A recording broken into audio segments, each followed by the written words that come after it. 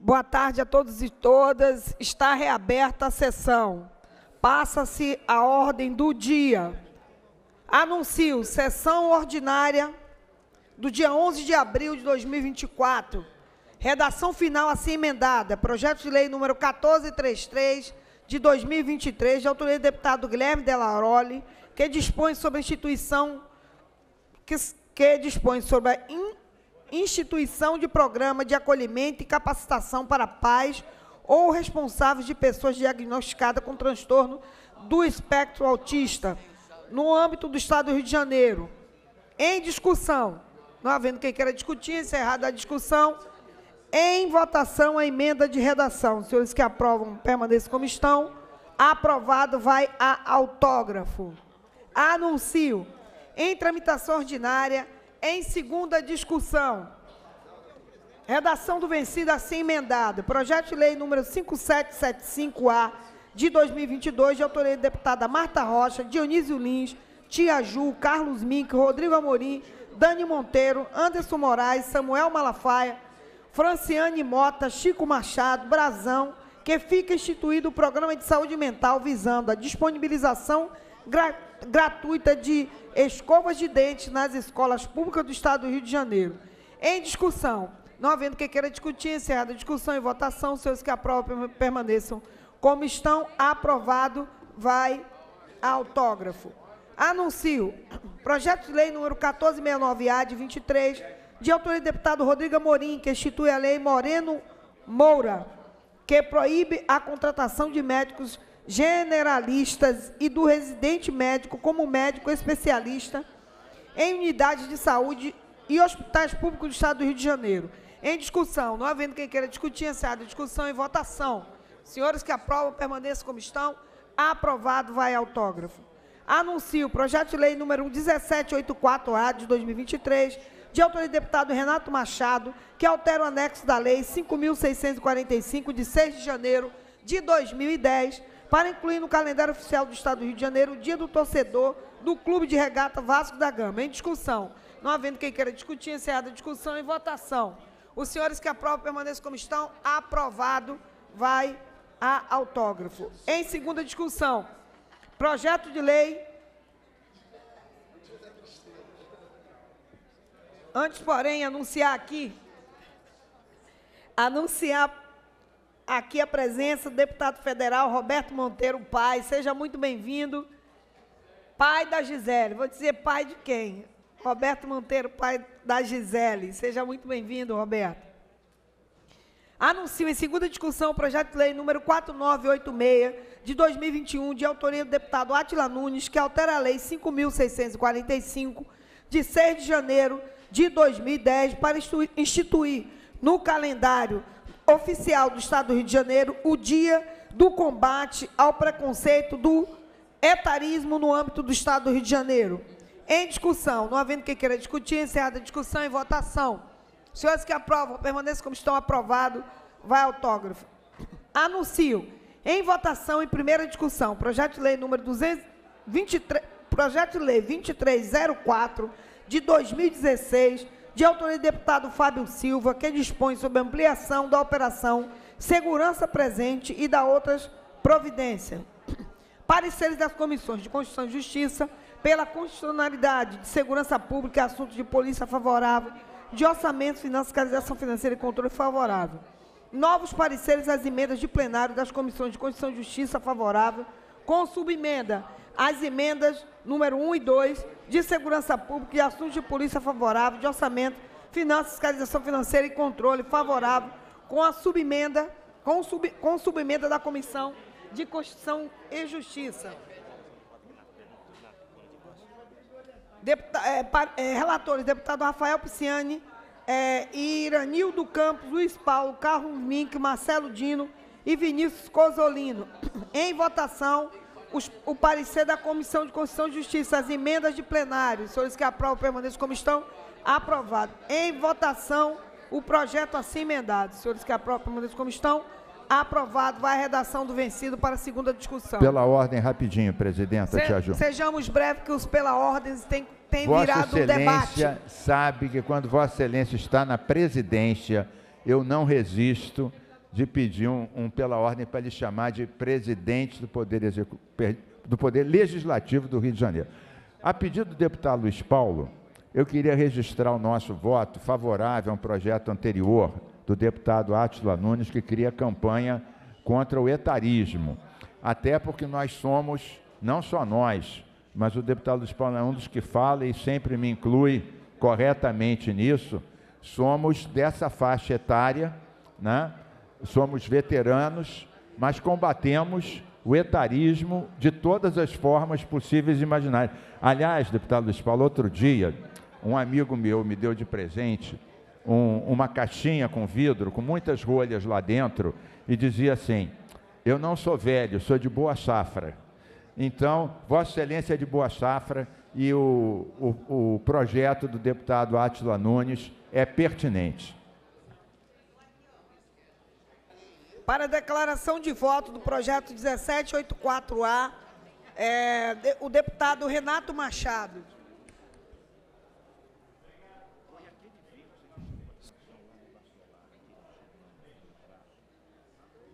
Tom. Obrigado, presidente. Tia Ju. O elevador atrasou um pouquinho e eu não podia deixar de dar minha declaração de voto.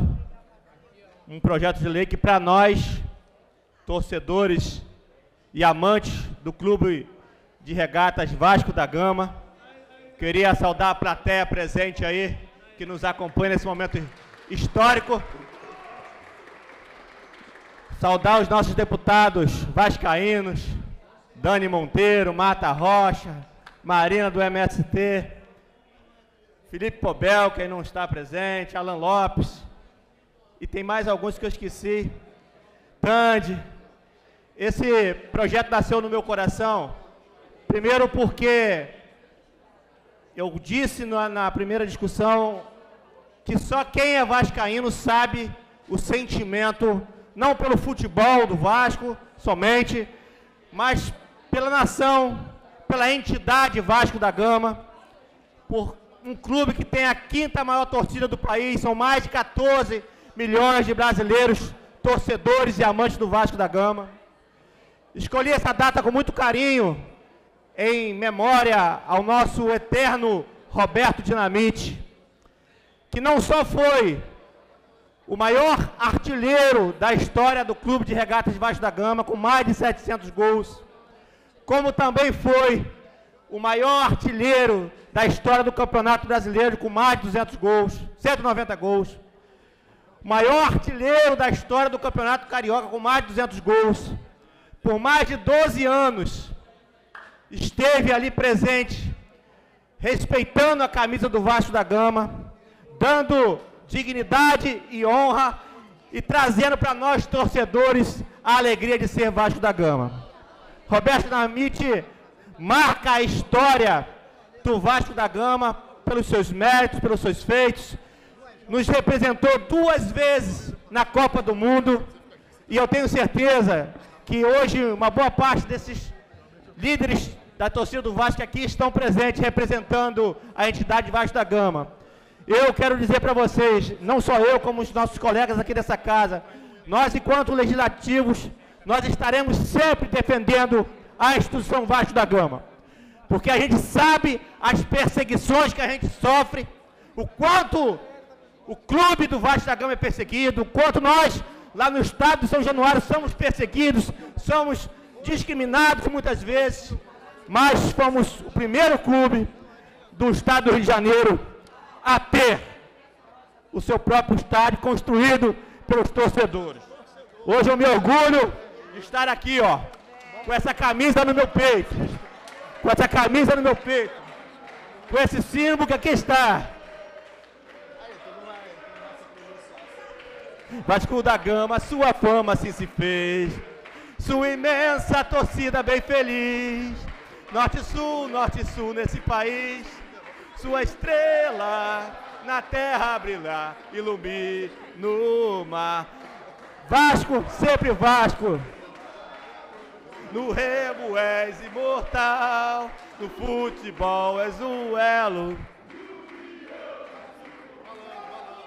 Vasco, Vasco, Vasco! Obrigado, Tia Ju. Presidente, Deputada Marta Rocha. para declaração de voto, primeiro saudar aqui o deputado Renato Machado, que eh, traz a camisa do Vasco sem ferir o regimento. Então, só um vascaíno que sabe fazer. Saudar aqui os nossos queridos torcedores, dizer que essa ideia de criar essa data, exatamente quando a gente ainda está comemorando os 100 anos da Carta Histórica, em que o Vasco recebe também um prêmio de direitos humanos, porque defendeu naquele momento uma conduta antirracista, enche de orgulho os nossos corações. Então eu quero abraçar os meus companheiros que, como eu, torcem pelo Vasco, abraçar o deputado Renato, e eu não posso fazer aqui, mas vocês podem fazer aí, afinal é casaca, casaca, casaca. A turma é boa, é mesmo a da Fusaca, Vasco da Gama. Obrigada, deputada. Vai declarar. Deputada Dani, com brevidade. Sim, claro. É, queria saudar aqui o deputado Renato Machado, que veio trajadíssimo, trajadão estiloso e sem ferir o regimento, que é o mais importante.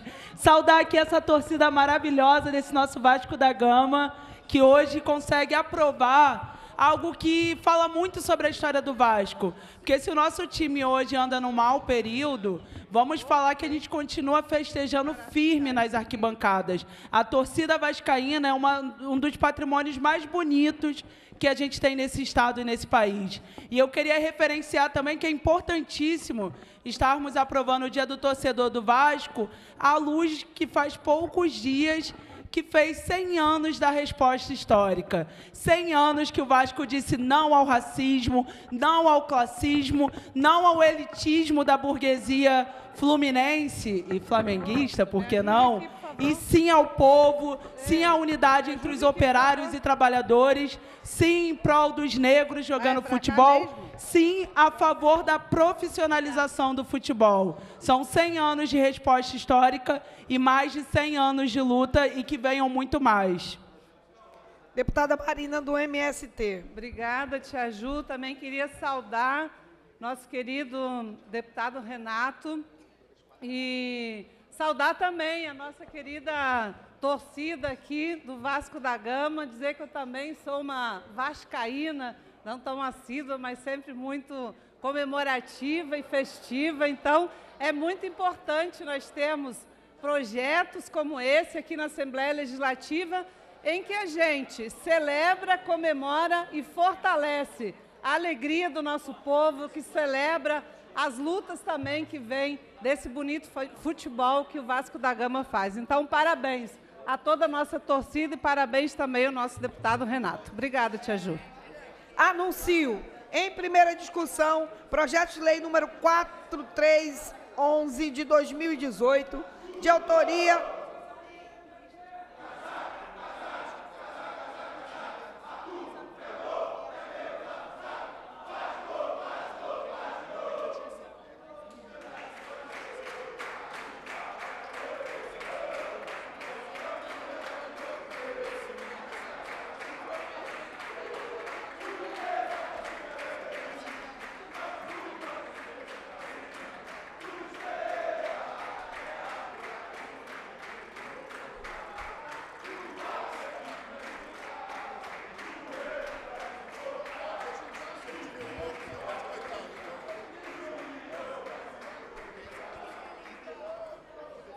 Obrigada aí a presença da torcida. Senhora Mas eu preciso continuar aqui a pauta. Só um pela ordem muito breve, pode, posso até contar, vai ser menos de um minuto. Eu queria dizer que hoje, aqui à tarde, acontece a mobilização do FOSPERG, que é o Fórum dos Servidores Públicos. Eles vêm cobrando que seja paga a segunda parcela daquele acordo que a gente firmou aqui na LERJ pela recomposição salarial. A primeira parcela foi paga, a segunda está suspensa, foi paga só para algumas categorias, como a LERJ, MP, TCE, e a terceira ainda não tem vistas. A gente sabe, deputada presidenta, que o- a situação do nosso Estado, do ponto de vista fi- fiscal, é muito grave. mas a gente precisa arrumar uma, uma forma de negociar, de sentar junto às categorias, junto ao funcionalismo público e fazer valer os seus direitos trabalhistas. Valorizar o funcionário público é valorizar os direitos sociais das populações mais vulnerabilizadas. Então, queria aqui me solidarizar ao FOSPERD e dizer que estamos juntos nessa luta. Obrigada. Pela ordem, presidenta, rapidamente. É, eu só pediria brevidade para a gente, que a pauta está bem extensa hoje. Tá, vai ser, vai ser rapidinho. Eu só queria relatar, presidente, uma série de reclamações que estão chegando ao meu gabinete, sobretudo nos municípios de Itaperuna e Nova Friburgo, sobre as dificuldades de agendamento de novas castrações no programa é, estadual Castra Pet. E no município de Itaperuna, por exemplo, há tutores de animais que não conseguiram agendar nenhuma castração em 2024. Então, o Castra Pet, ele é um programa fundamental para muitos protetores aqui do Estado, pelo bem-estar dos animais. Então, a gente pede a atenção do governo do Estado, em especial a Secretaria Estadual da Saúde, para o pleno funcionamento do programa nos municípios de Itaperuna e Nova Friburgo. O meu mandato segue à disposição. Obrigada, presidente. Anuncio. Projeto de lei número 4.311 de 2018, da autoria do deputado Atila Nunes, que dispõe sobre a realização de exame laboratorial gratuito em crianças para diagnóstico precoce inequívoco da atrofia muscular espinhal, AME, no estado do Rio de Janeiro e da outras providências. Pareceres das comissões de Constituição e Justiça pela constitucionalidade de saúde favorável de assuntos da criança, do adolescente e do idoso favorável e de orçamento, finanças, fiscalização financeira e controle favorável. Relatores, deputado Carlos Mink, Rosenberg Reis, Rosane Félix e Eliomar Coelho. Em discussão. Não havendo quem queira discutir, encerrada a discussão, em votação, os senhores que aprovam, permaneça como estão, aprovado em primeira, retorna em segunda. Anuncio o projeto de lei número 2097 de 2023, de autoria do deputado Andrezinho Siciliano, que altera a lei 5.645, de 6 de janeiro de 2010, para incluir no calendário oficial do Estado do Rio de Janeiro o Dia Estadual da Urna Eletrônica. Pareceres das comissões de Constituição e Justiça pela juridicidade, com emenda. Relator, deputado, deputada Verônica Lima. Em discussão. Não havendo quem queira discutir, encerrada a discussão. Em votação, a emenda da CCJ. Senhores que aprovam, permaneçam como estão, aprovado. Em votação, o projeto assim emendado. Senhores que aprovam, permaneçam como estão, aprovado em primeira. Vai a redação do vencido para a segunda discussão. Em discussão única, projeto de resolução número 659 de 2024, de autoria do deputado Alan Lopes, que concede o diploma Russell Philip Sheldon ao pastor Ricardo Fabiano Vieira de Carvalho. Parecer das comissões de normas internas e proposições externas, favorável. Relator, deputado Rodrigo Amorim. Em discussão, não havendo quem queira discutir, encerrada a discussão. Em votação, senhores que aprovam, permaneçam como estão. Aprovado vai à promulgação. Anuncio indicação legislativa número 20 de 2023, de autoria do deputado Rosenberg Reis, que solicita ao excelentíssimo senhor governador do Estado do Rio de Janeiro, senhor Cláudio Castro, a implantação da, da rodovia do município de Rio das Ostras. Parecer da Comissão de Indicação Legislativa favorável. Relator, deputado Felipe Soares. Em discussão, não havendo quem queira discutir, encerrada a discussão. Em votação, os senhores que aprovam permaneçam como estão. Aprovado, vai à publicação. Anuncio indicação legislativa número 223 de 2023, de autoria do deputado professor Josimar, que solicita ao excelentíssimo senhor governador do Estado, Cláudio Bonfim de Castro Silva, o envio de mensagem dispondo sobre a retificação do cargo de animador cultural para cargo de comissão Pareceres das comissões de indicação legislativa favorável. Relator, deputado Felipe Soares. Em discussão, não havendo quem queira discutir, encerrada a discussão. Em votação, senhores que aprovam, permaneçam como estão. Aprovado, vai à publicação. Para declaração de voto, deputado professor Josimar. Presidenta, essa é uma reivindicação histórica da categoria. Os animadores culturais que estão há 30 anos trabalhando, esperam desta de uma saída real e efetiva para poderem se aposentar e são partes ainda daquele programa, do segundo programa que teve dos CIEPs, quando Brizola ainda era governador do estado e Darcy Ribeiro era o secretário de Educação. O animador cultural era aquele que fazia o trabalho né, de integração da escola com a comunidade. Era quem fazia as atividades que ajudavam e construíam uma sociabilidade das nossas crianças. Apostar nos animadores culturais é reconhecer o trabalho desses profissionais que ficaram esses anos todos sem uma sem uma dignidade frente ao seu trabalho, ficaram num litígio histórico. E para final de carreira é importante que o Estado acolha para que dê garantia de aposentadoria digna a esses profissionais. Muito obrigado pela aprovação. Declarar voto, presidente. Deputada Renata Souza. Parabenizar o deputado é, professor Josemar. Sem dúvida nenhuma, os animadores culturais são parte expressiva e importante na educação e nós travamos uma batalha aqui na própria Assembleia Legislativa para serem reconhecidos. Na verdade, senhora presidente, tem um número aí de algumas dezenas de, é, de animadores culturais que não conseguiram sequer se aposentar. Então, eles ficam num limbo administrativo que é culpa, nada mais que culpa do governador, porque se não reconhece a, o cargo, a profissão de animador cultural, essas pessoas que trabalharam desde sempre nesse trabalho tão fundamental, porque é isso, a gente alarga a perspectiva da educação e inclui a, educação também no, na questão do rol da cultura, da arte, no rol da possibilidade de transformar a escola no contraturno e não ser só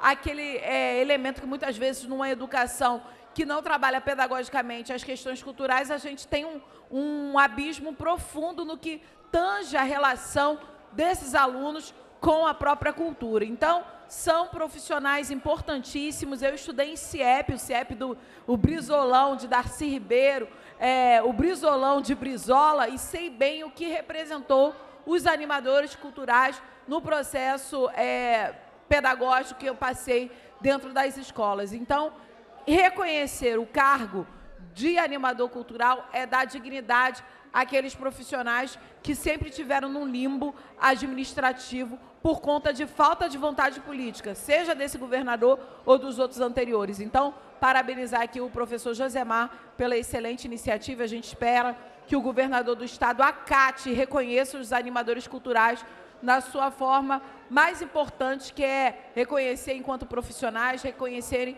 e como ativistas de um elemento central na nossa educação, na nossa pedagogia, que é a cultura. Muito obrigada, senhora presidenta. Anuncio.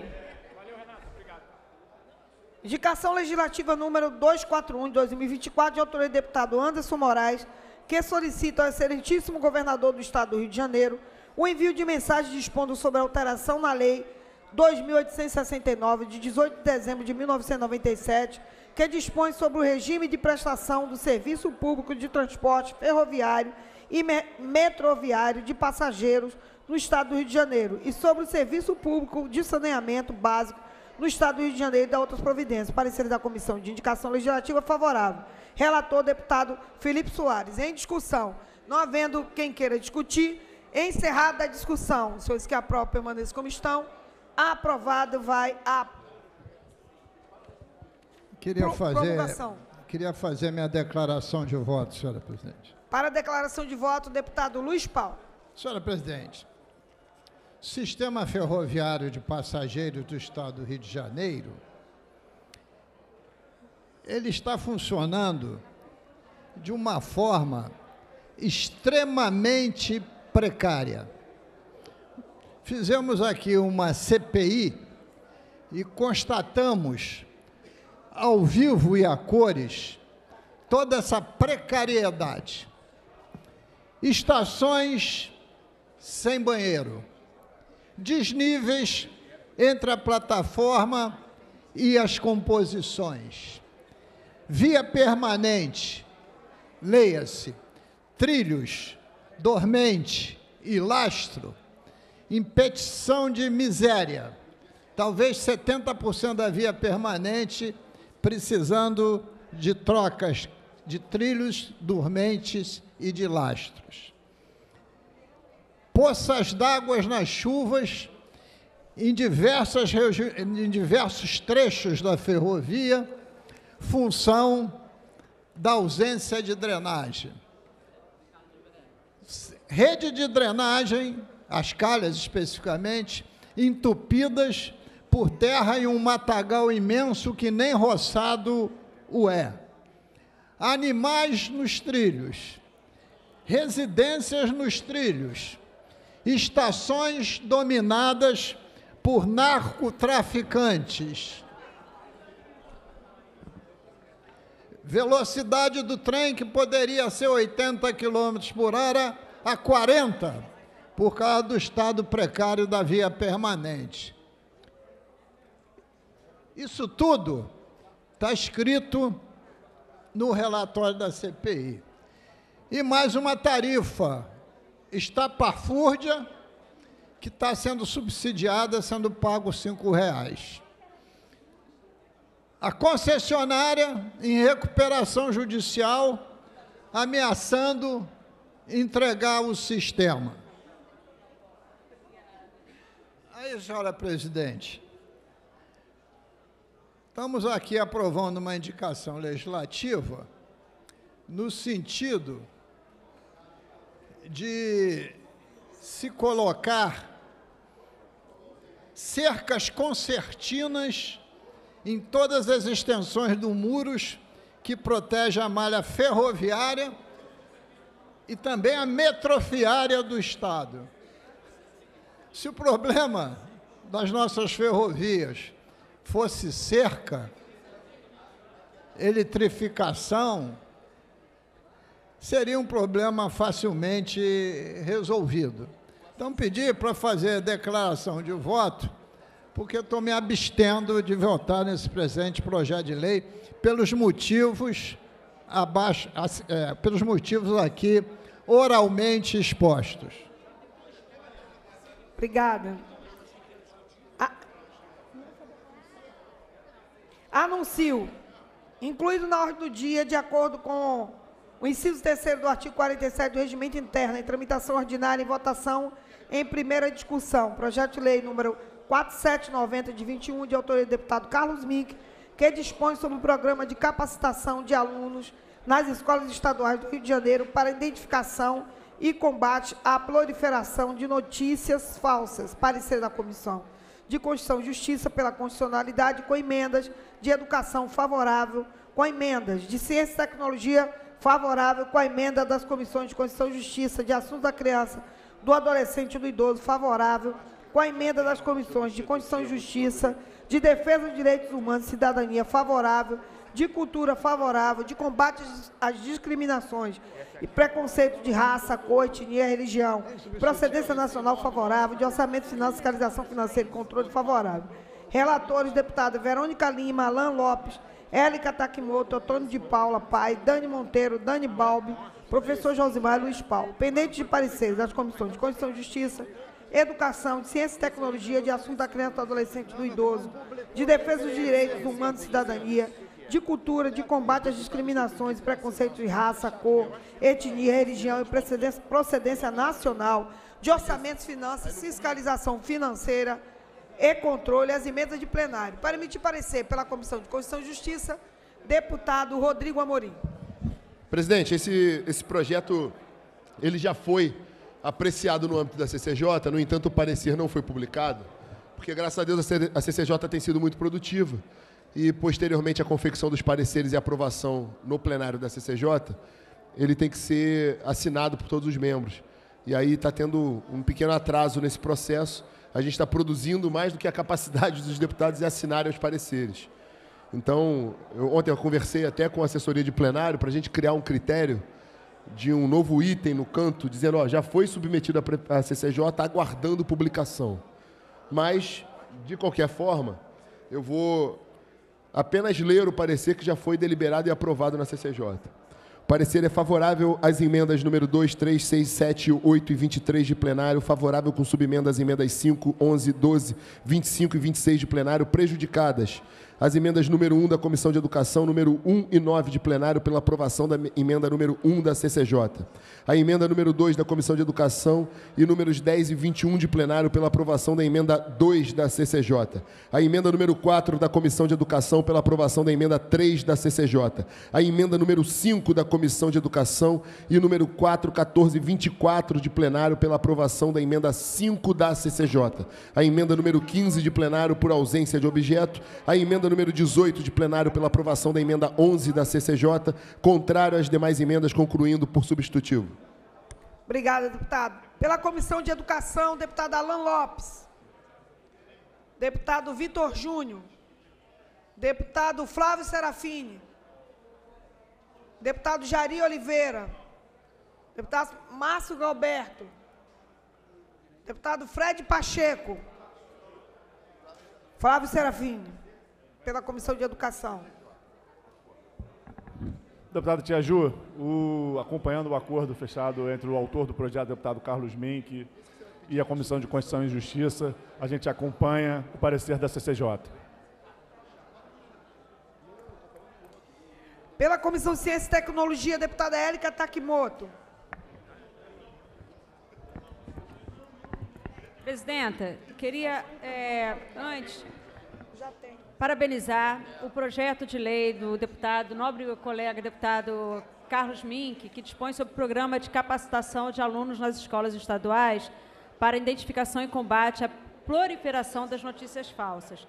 A gente sabe que essa proliferação de informações falsas, especialmente como a gente vê em rede social, representa uma séria ameaça ao bem-estar e à segurança de diversos grupos sociais, incluindo estudantes, mulheres, jovens, sem falar na própria saúde do nosso sistema democrático.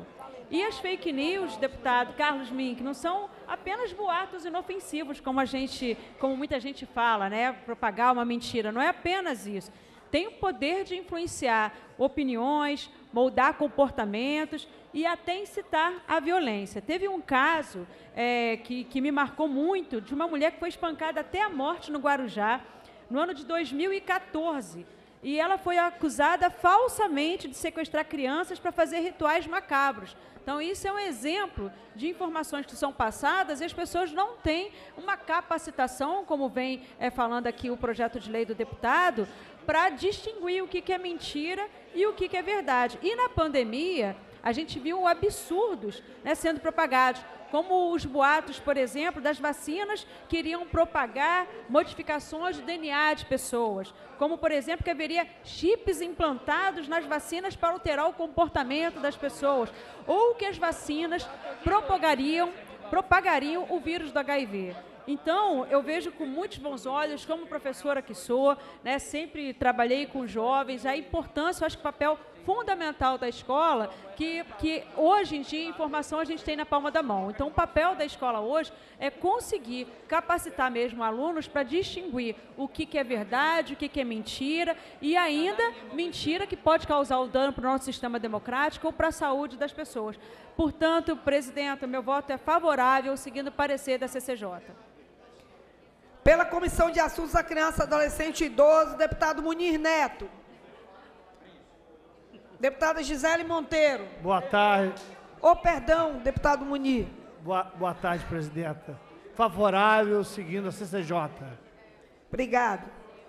Pela Comissão de Defesa dos Direitos Humanos e Cidadania, deputada Dani Monteiro.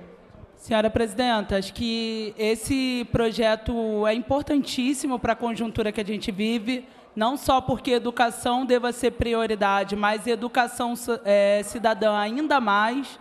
É, mas eu queria aqui, senhora Presidenta, junto ao parecer, trazer uma, um, um, algo que vem me, me estarrecendo, assim, o retorno massivo das emendas supressivas a projetos que é divergência. Por obviedade, o tratamento da proliferação de notícias falsas, como a gente bem acompanhou nas eleições, divide a opinião dos políticos. E aí eu queria dizer que a nossa Comissão de Direitos Humanos é, coaduna com a, é, com a sensibilidade que apresenta o deputado Anderson de Moraes, que é um deputado que tem divergências diversas divergências com a, o conteúdo do projeto, mas o deputado Anderson Moraes traz emendas modificativas. E eu queria dizer que a comissão é favorável a essas emendas de 1 a 8. No entanto, senhora presidenta, de 26 emendas, 10 são supressivas e do mesmo deputado. Se o deputado tem divergência com o projeto, ele apresente outro, ele refaça o texto. Agora, suprimir é suprimir também a produção legislativa do outro, isso não pode acontecer são 26 e 10 são supressivas. 10 destroem o projeto. Isso já foi alvo de debate na casa aqui em outros momentos. E eu quero, inclusive, pedir a sensibilidade aqui do presidente da CCJ. Já debatemos aqui nesse plenário diversas vezes e acordamos de não fazer emendas supressivas no projeto que você diverge. Se você diverge, vota contrário. Se você diverge, tenta melhorar a redação do projeto, que foi Vossa Excelência não faz, eu queria elogiar o parecer que foi construído com Carlos Mink, mas queria repudiar a atuação de deputados que seguem sistematicamente tratando divergência como supressão de ideias. Isso não pode. Aqui é o parlamento, é o espaço da democracia, é o espaço do debate republicano das diversas ideias. Se o deputado divirja, usa o microfone, faça uso da palavra e fale da divergência do projeto. Agora, não vem aqui, mais uma vez, porque é o mesmo deputado, destruir a produção legislativa. Então, senhora presidenta, eu queria dizer aqui que uh, o parecer da Comissão de Direitos Humanos, do 1 ao 8, das emendas 1 ao 8, é favorável, guardando e respeitando a divergência do deputado autor das emendas e entendendo que são emendas que tocam no que é sensível para ele. Além de não, não acatar, eu queria repudiar as 10 emendas supressivas. E, por fim, senhora presidenta, ao, ao final do parecer, Queria perguntar por que, que hoje as portas da casa foram fechadas. Porque justamente hoje que o FOSPERD, que é uma, um fórum de diversos servidores, fazem um ato pedindo salário, direitos trabalhistas, recomposição salarial, pautas legítimas, a casa decidiu, não sei porquê, estou realmente perguntando, não estou fazendo juízo de valor, estou perguntando por que a casa fechou todas as portas no entorno, encastelando o alerge. É ou não é a casa do povo? Saudar aí os trabalhadores e trabalhadoras que estão ocupando a galeria, o Sinderge, o, o, o é, também tem professores lutando e também estão ensinando. A gente tem um pouco de dificuldade de ler, porque os refletores ficam na frente, mas eu acho que eu, eu citei todos que estão na galeria, né? Sejam todos muito bem-vindos. Anuncio. Ah, para a declaração. Oh, perdão, Foi votado? Perdão. Pela Comissão de Cultura. Não entendi. Pela Comissão de Cultura, deputada Verônica Lima. Deputado Tiago Galhaço. Deputado Chico Machado. Deputada Dani Balbi.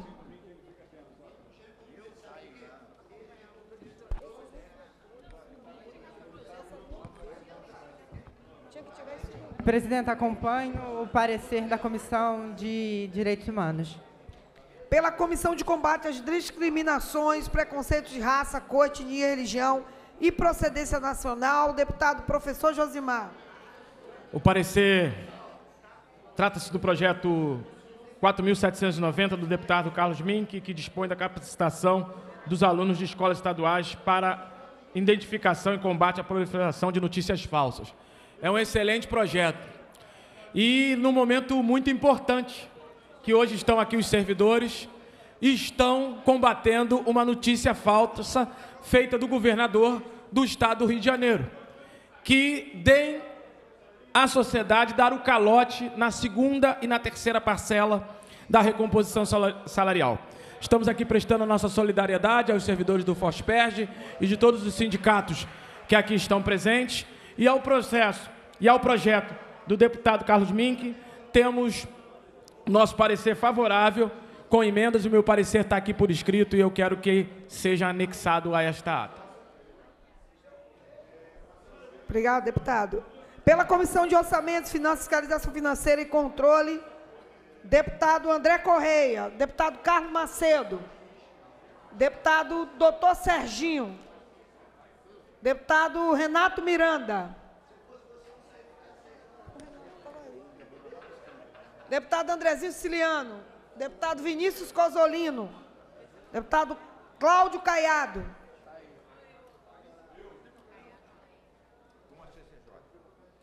Tudo bem com o senhor? Boa tarde, obrigado. Boa tarde, presidente. Como sempre, acompanhando a CCJ. Com os pareceres emitidos em votação substitutivo da CCJ, senhores que aprovam permaneçam como estão, aprovado. Verificação redação. de quórum. Pedido de verificação de quórum Perfeitamente. senhor. para o deputado Luiz Paulo. Pe- pelo Eu deputado Luiz quero Paulo. demonstrar aqui, senhora presidente, que fake news é isso.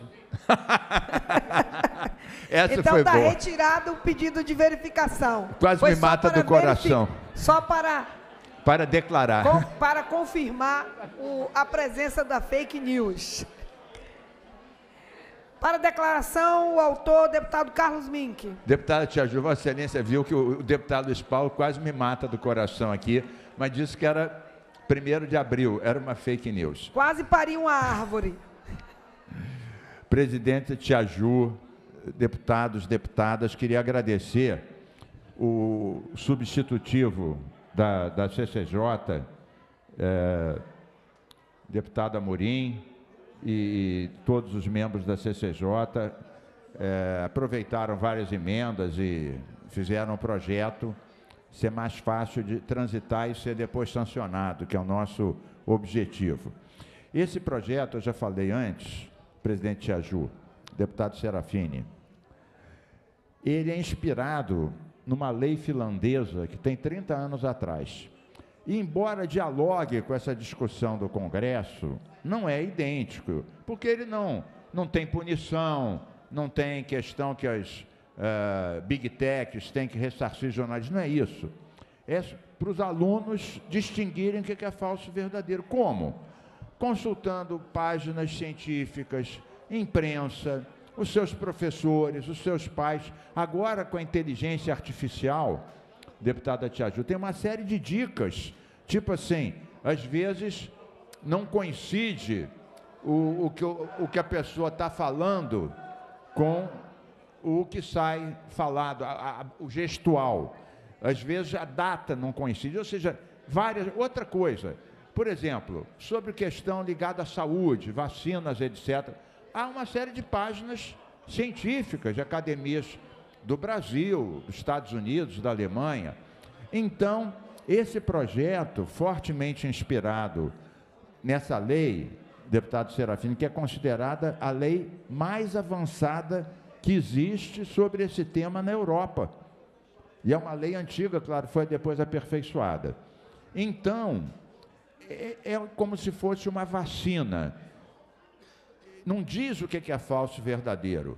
Dá caminhos para o próprio estudante formar sua concepção a respeito, para não acreditar em tudo que ele vê de cara, sem, sem nenhum tipo de ressalva, sem nenhum tipo de precaução, sem nenhum tipo, senador Marquinho, de olhar crítico em relação: será que isso é verdade? Será que isso é mesmo assim?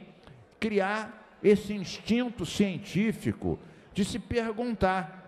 Isso resolve o problema? Não resolve, mas diminui muito a intoxicação, o ódio, a mentira.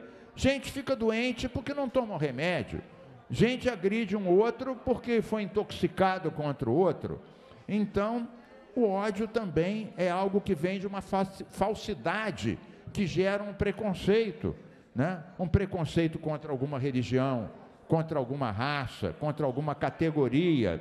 Então, isso eu acho que é uma formação. Isso não é um projeto de esquerda ou da direita, porque há fake news de esquerda também. Eu quero dizer, deputado Flávio, Excelência com certeza vai divergir de mim, Para concluir, deputado. que há algumas coisas que o pessoal de esquerda repete e que não são verdade, acontece. Então é um projeto que não é de esquerda ou de direita, é um projeto pelo discernimento e pela autoformação de convencimento a partir de pesquisa. Obrigado, presidenta Tiaju. Deputado Flávio Serafim, declaração de voto. Pela ordem, deputado. Presidente deputada Tia Ju, quero fazer o pela ordem, na verdade, para saudar aqui a presença dos servidores públicos do Estado do Rio de Janeiro, companheiros e companheiras do FOSPERD, companheiros e companheiras das diferentes categorias que estão aqui, deputada Tia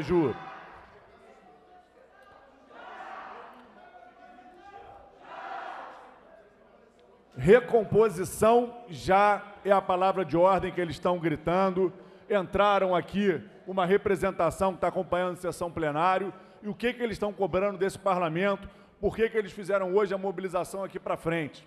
Em 2021, essa casa votou uma série de leis, retirou direitos dos servidores, piorou as condições de aposentadoria, mas colocou que para balancear aquele pacote de maldades ia garantir um processo de recomposição das perdas, porque àquela altura os servidores do Estado do Rio de Janeiro já acumulavam mais de 40% de perdas inflacionárias. Isso significa que a maior parte dos servidores do Estado tinham empobrecido quase 40%. Seus salários tinham perdido quase metade do poder de compra. Essa casa aprovou um calendário em 2021 ele começou a ser seguido, só que o governador Cláudio Castro, desde o ano passado, deixou de seguir esse calendário de recomposição de perdas. É importante destacar que não tem essa de que descumpriu, que seguiu o calendário, descumpre o regime de recuperação fiscal. Se descumprisse o presidente do TJ, não estaria respeitando o calendário. O presidente da LERJ não estaria respeitando o calendário. O procurador-geral de Justiça do Estado do Rio de Janeiro não estaria respeitando o calendário. O defensor público geral, a defensora pública geral, só quem está descumprindo o calendário é o governador Cláudio Castro, dando um calote que nesses dois anos já acumula mais de 13%, fazendo com que os servidores do Estado do Rio de Janeiro voltem a empobrecer. Então é muito importante que essa casa, que os deputados e as deputadas tenham uma posição firme não adianta a gente dizer que defende professor, que defende a polícia, que defende a saúde, que defende isso, que defende aquilo, e deixar as categorias todas serem tungadas naquilo que lhes é direito, voltando a um ciclo de empobrecimento. Então, a nossa solidariedade ao FOSPERGE, a nossa solidariedade aos servidores públicos do Estado do Rio de Janeiro e a nossa cobrança para que o governador, que é o único chefe de poder no Estado do Rio de Janeiro hoje, que está dando calote nos servidores, reveja essa posição, cumpra a Lei 8436 e pague o mínimo que os servidores públicos do Estado do Rio de Janeiro merecem. Porque sem servidor público valorizado, não tem serviço público de qualidade e sem serviço público de qualidade, não tem direito social para a nossa população. Então, força na luta dos servidores, que é a luta pela garantia dos direitos da nossa população. Obrigada, deputada. Pela ordem, presidente. Deputada Marina, logo em seguida, a deputada Marta Rocha.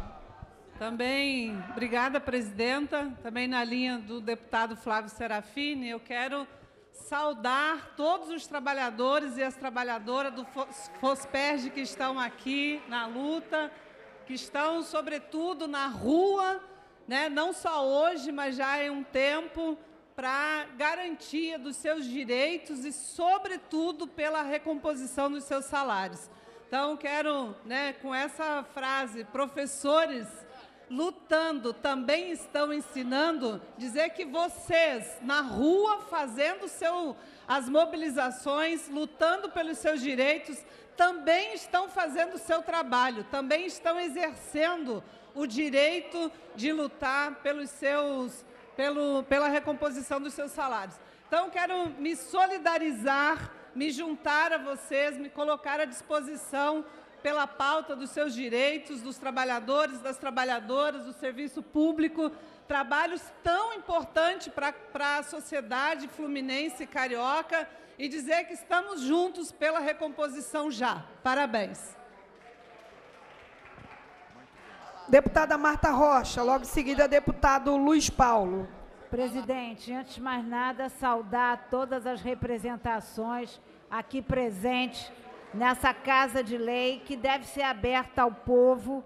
Portanto, quero também registrar a minha insatisfação, a minha incontrariedade de ver essa casa cercada impedindo aqueles que fazem parte da natureza da existência dessa Casa de Leis, que é o povo, sejam os servidores ou detentores do direito, mas que eles possam estar aqui para apresentar suas reivindicações.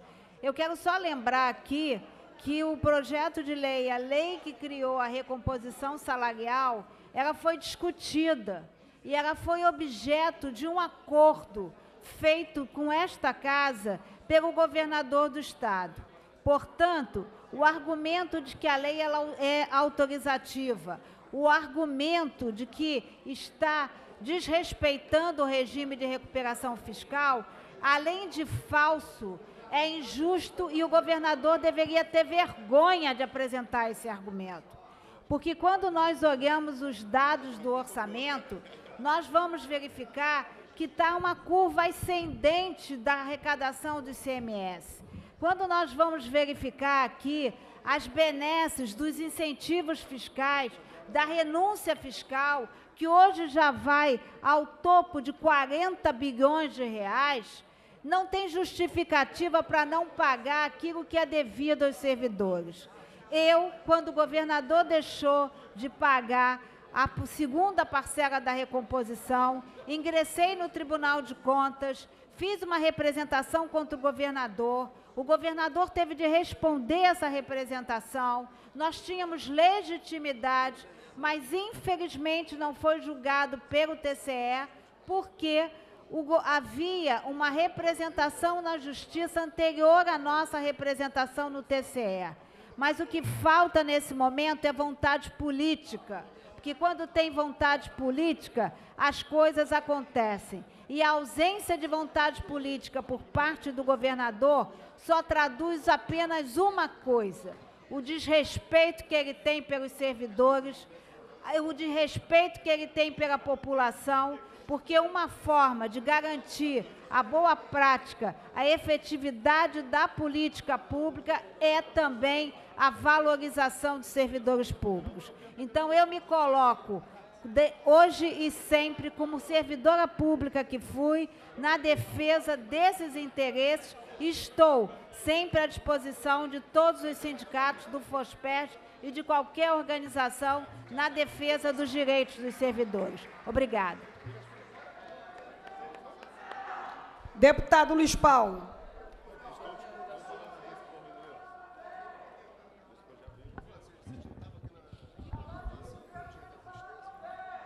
Senhora presidente, queria cumprimentar a direção do FOSPERJ e todos os servidores públicos estaduais do Executivo que ocupam aqui o nosso plenário. Eu verifico que há mais de uma década que o parlamento fluminense não discutia recomposição salarial. Porque funcionalismo público, ao longo dos últimos anos, ficou profundamente dividido, deputado Carlos Mink, com a história de cada um só luta pelo seu plano de cargos e salários. E a, a recomposição salarial é a possibilidade de unificar o funcionalismo público.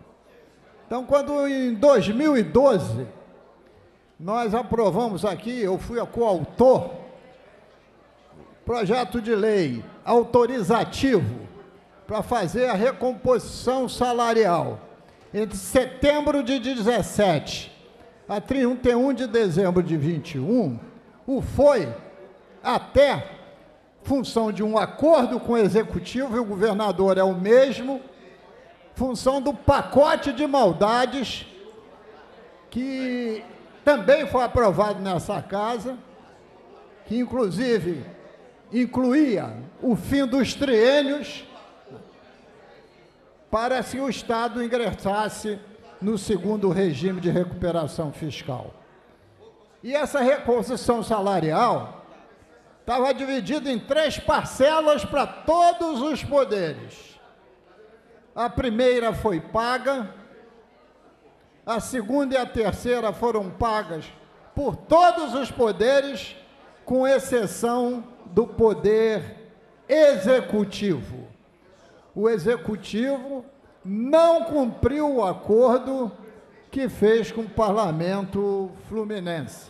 E mais grave ainda, não cumpriu o acordo que fez com o conjunto do funcionalismo público estadual e está novamente trabalhando na divisão, pagando uns e não pagando outros. E aí os outros são a imensa maioria dos servidores públicos do Estado que estão no poder executivo.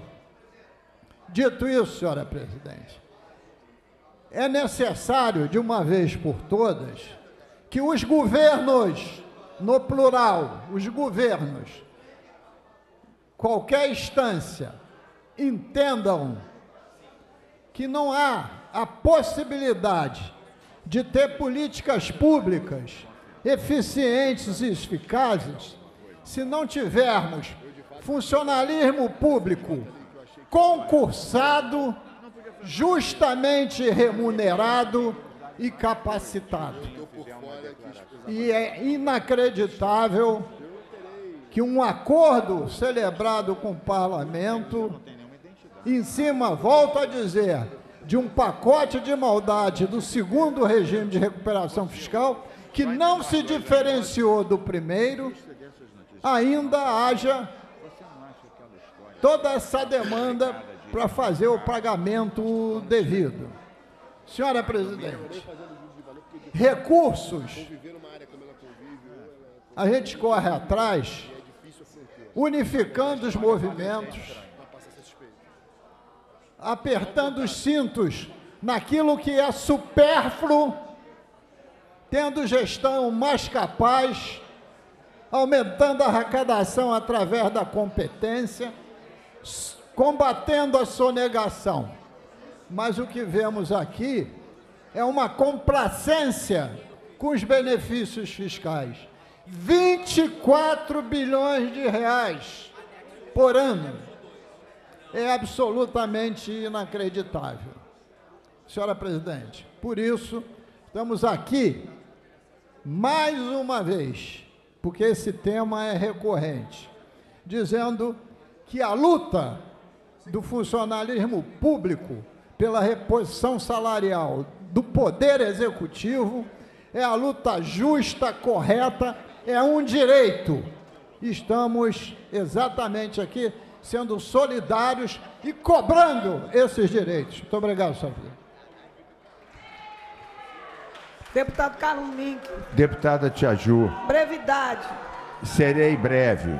Com certeza, mais breve que o Luiz Paulo, com certeza. Quero dizer que eu concordo completamente com o que foi dito. Primeiro, eu queria saudar vocês que estão aqui. Vocês são orgulho nosso por essa disposição de lutar, não por vocês, mas pelo povo do Rio de Janeiro, que precisa de uma boa saúde, uma boa educação, uma boa segurança, o que não se consegue se o servidor público é massacrado. Parabéns a vocês que estão lutando pela educação, pela saúde, pela segurança de toda a população. De toda a população. Temos que reconhecer. Parabéns, vocês são nosso orgulho. Queria dizer, não vou repetir os argumentos, deputado Flávio Serafini listou as reuniões, os acordos, as leis e outros deputados que se seguiram, deputada Marta Rocha ressaltou outros aspectos, deputado Luiz Paulo, eu com, com, é, compartilho desse sentimento. Como presidente da comissão do Cumpra-se, nós vamos agir. Todos os deputados e deputadas. Governador, cumpra a lei, cumpra o acordo, respeite o servidor público. Quero dizer ainda para concluir, Tia Ju, e serei realmente bem breve, porque não vou repetir os argumentos, porque concordo com esses argumentos. Quero dizer o seguinte: tem outras leis importantes que não estão sendo respeitadas. Por exemplo, eu sou autor da lei da eleição direta para diretores das escolas. Há quatro anos não tem eleição nas escolas públicas. Não é só o pessoal da educação. Hoje em dia, o pessoal da área da saúde, a turma da vigilância sanitária que está combatendo a dengue, está sem condições, está sem salário, tem pouca gente e tiram o couro dessas pessoas. Não dão o dinheiro no bolso, mas arrancam o couro fora. Qual é a conclusão? Mais mosquito para picar o pessoal, para pegar dengue. Por quê?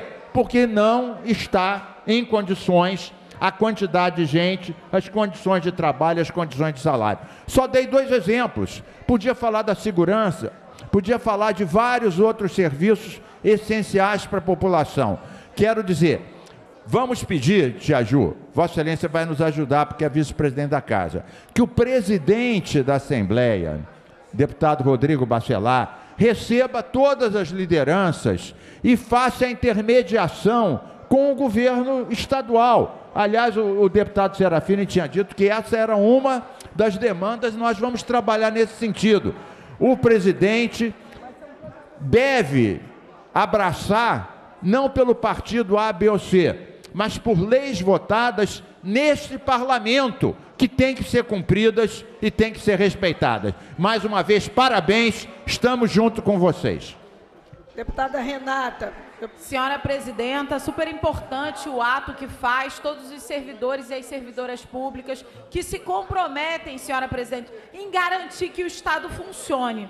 É disso que se trata. Quando a gente viu o governador lá tentando fazer os seus acordos no ano de eleição e prometeu tudo, mas não cumpriu nada, a gente vê o quanto que é covardia o que o governador faz com os servidores e com as servidoras públicas. É importante a gente lembrar também, senhora presidenta, que todo o processo, seja quando a gente teve colocado no Rio de Janeiro o regime de recuperação fiscal, que atingiu diretamente os servidores e as servidoras, nós aqui, inclusive, votamos contra o regime de recuperação fiscal, porque a gente já sabia que isso poderia acontecer. A gente já denunciava o quanto que isso afetaria diretamente os servidores e as servidoras, o seu serviço, o seu empobrecimento e, obviamente, a recomposição salarial. Porque quando a gente fala aqui e cobra por serviços públicos que garanta a qualidade desses serviços para a nossa população, a gente precisa lembrar que eles não estão sendo reconhecidos na sua humanidade, não estão se re eh, sendo reconhecidos no seu trabalho, na sua no seu profissionalismo, pelo contrário, estão sendo covardemente atacados pelo governador do estado. Então, aqui, hoje, não só reconhecer a importância de estarem mobilizados nos atos, mas também dizer que a Assembleia Legislativa precisa estar junta, cobrando para que o governador cumpra com os seus compromissos, cumpra com os compromissos que ele acordou junto aos servidores e às servidoras do Estado. Então, Parabéns pela mobilização, parabéns ao FOSPERD. Contem sempre com a gente aqui na Assembleia Legislativa. Porque servidor, senhora presidenta, servidor e servidor fazem parte da estrutura do Estado. É quem garante serviço público de qualidade. Então a gente precisa garantir a dignidade trabalhista deles com recomposição salarial, mas sem perdas de recomposição. Pelo contrário, que o governador largue de ser covarde e garanta aquilo que, que se comprometeu. Obrigada.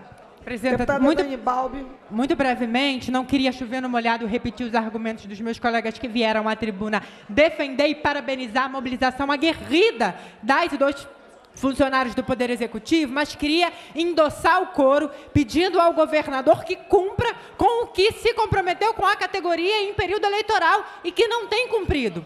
O reajuste é fundamental para que nós possamos garantir a entrega da qualidade dos serviços públicos. Inclusive, queria mais uma vez parabenizar essas e esses servidores que estão aqui, não única e exclusivamente pela sua capacidade de organizar a mobilização, mas porque, deputada Tia Ju, sabemos todas e todas, não são os deputados que entregam educação de qualidade, que estão construindo o chão da escola. Não, não é nenhum outro funcionário que não o funcionário público do Poder Executivo que faz o policiamento ostensivo e que entrega e garante segurança de qualidade. Não é outro servidor que não o servidor do Executivo que garante o reabastecimento dos serviços essenciais de eh, esgoto e abastecimento de água nas moradias. Então, presidenta, se há serviço social, se há cidadania, se o Estado funciona, isso se deve, antes de tudo, aos servidores do Estado do Rio de Janeiro. Fica aqui o nosso esforço incansável e eu, como presidenta da Comissão de trabalho, coloco essa comissão à disposição de todas as categorias para que consigamos conquistar esse reajuste que é mais do que merecido, é um dever do Poder Legislativo e do Poder Executivo.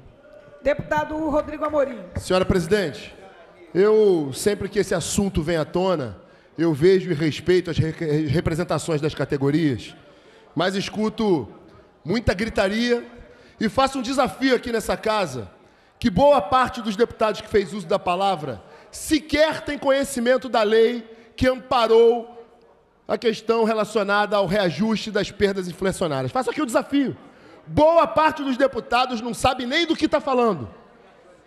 Senhora presidente, houve um momento político na legislatura passada em que se permitiu, por força de uma lei aprovada nessa casa, sancionada pelo governador, a reposição das perdas inflacionárias que não aconteciam há anos no estado do Rio de Janeiro.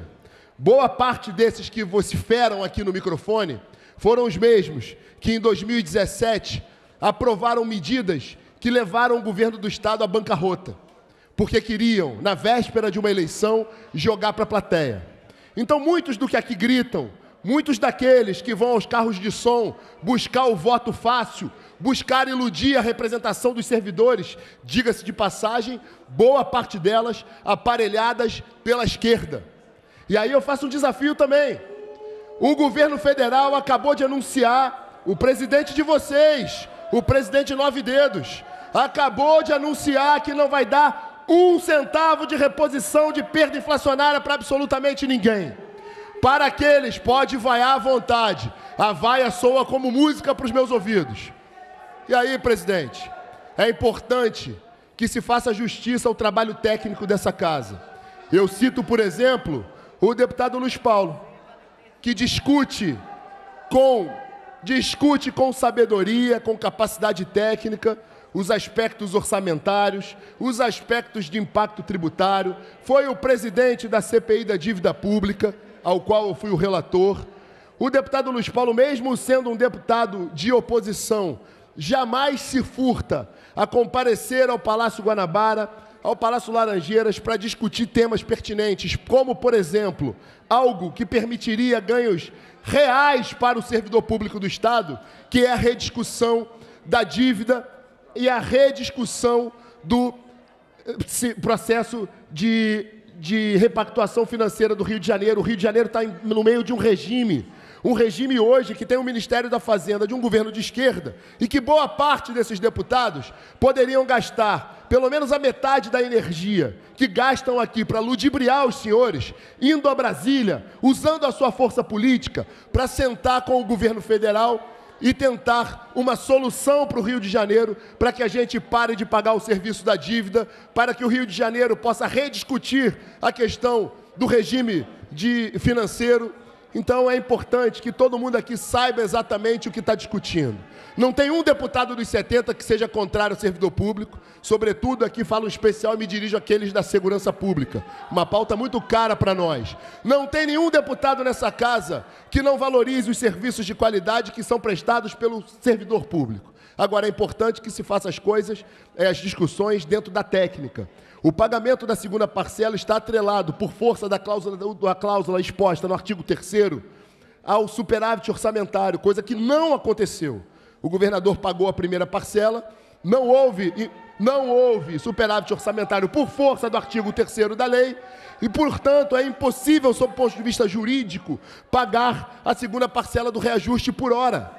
Agora, é importante que esses mesmos deputados que vociferam aqui, eu não vi nenhum deles, por exemplo, discutir a questão de é, gradação nas carreiras. Eu não escutei nenhum aqui falar das leis orgânicas que precisam serem reenviadas para essa casa. Não escutei ninguém aqui falar da regulamentação das leis orgânicas que já foram aprovadas por esta casa por incompetência, por incoerência ou muitas vezes porque não sabem o que estão fazendo aqui dentro. Repito o meu desafio. Desafio agora, um por um.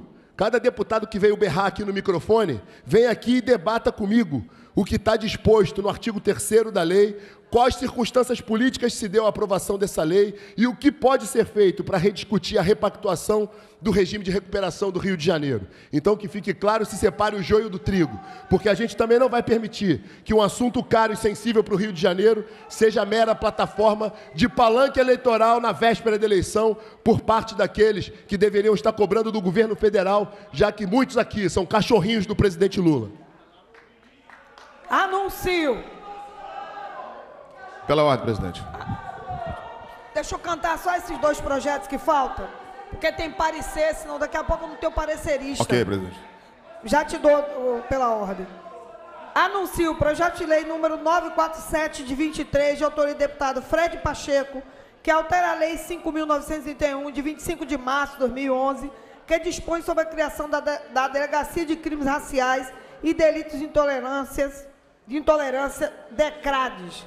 Pareceres das comissões de Constituição e Justiça pela Constitucionalidade da Pessoa com Deficiência favorável, de Segurança Pública e Assuntos de Polícia favorável, de combate às discriminações e preconceito de raça, cor, etnia e religião, procedência nacional favorável, de orçamento, finanças, fiscalização financeira e controle favorável, com emendas. Relatores, deputado Rodrigo Amorim, Muni Neto, Márcio Galberto, professor Josimar e Luiz Paulo. Pendente de pareceres das comissões de Constituição e Justiça, da pessoa com deficiência, de segurança pública e assuntos de polícia, de combate às discriminações e preconceito de raça, cor, etnia, religião e procedência nacional, de orçamento, finanças, fiscalização financeira e controle, as emendas de plenário. Para emitir Pe- Pela ordem, presidente, é sobre o projeto.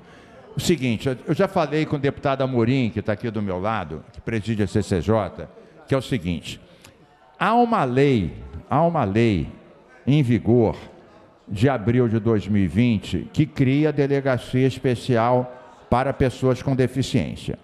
E há um projeto de lei da deputada Alana Passos, senador Marquinho, que é o projeto de lei 5351, que me foi informado que está desarquivado, que altera essa lei.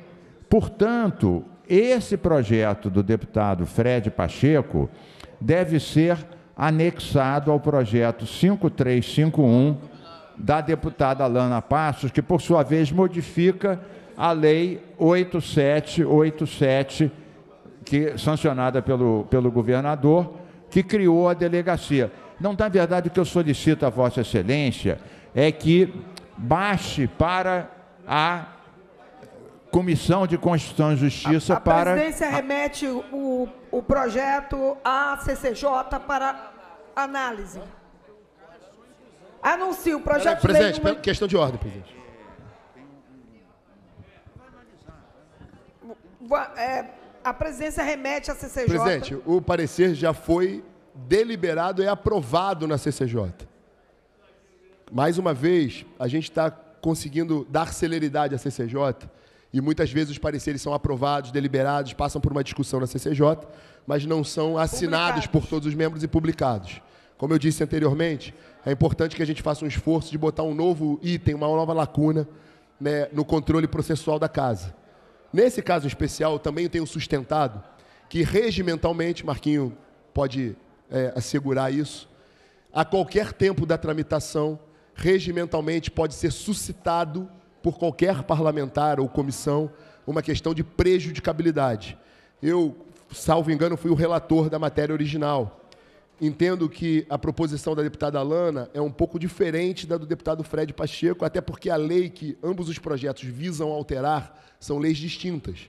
No entanto, é legítimo o deputado Carlos Mink, não só como membro da CCJ, possa reenviar para a comissão para uma reanálise de uma eventual prejudicabilidade nesse sentido, apenas para esclarecer a Vossa Excelência que o parecer já tinha sido dado anteriormente.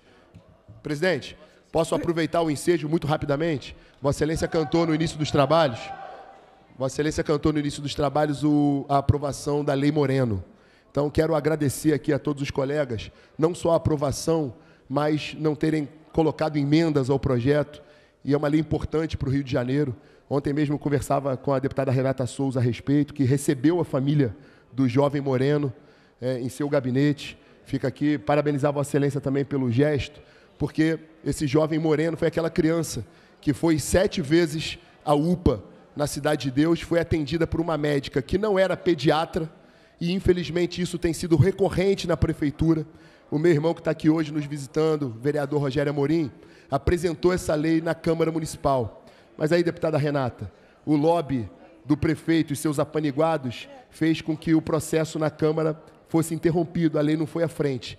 Pode parecer redundante, mas a missão dessa lei é dizer que o poder público em todo o estado do Rio de Janeiro só pode contratar especialistas com o título de especialista. Isso vai salvar vidas e vai parar de enganar as pessoas, que é o que tem acontecido hoje na Prefeitura do Rio de Janeiro. Então, parabenizar o meu irmão, o vereador Rogério Amorim, pela iniciativa, médico, neurocirurgião, parabenizar os deputados dessa casa que aprovaram, Parabenizar os deputados, como a deputada Renata Souza, que se sensibilizou com esse caso, atendeu a família. Então, ganha o Parlamento Fluminense, ganha o Rio de Janeiro. Parabéns a todos os envolvidos. Obrigado pelo, pela aprovação.